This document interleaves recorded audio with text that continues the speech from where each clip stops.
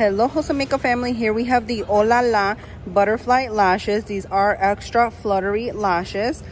Look at how amazing these are. They do come with two different styles. We have Jasmine and Flutter. They come with their little design right here.